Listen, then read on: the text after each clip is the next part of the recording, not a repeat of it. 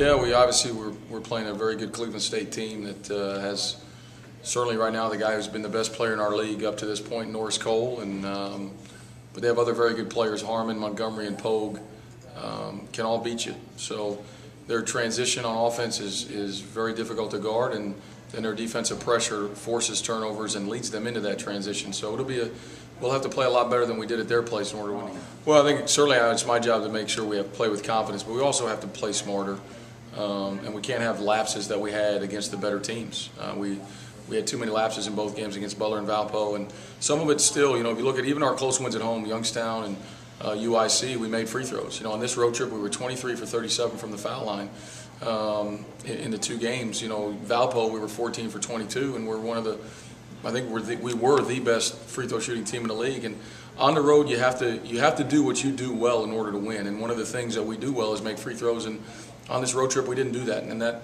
that significantly hurt us in in the, in the loss.